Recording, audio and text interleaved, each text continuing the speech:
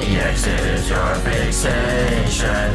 Door after door, you'll find that it is just a digital hallucination.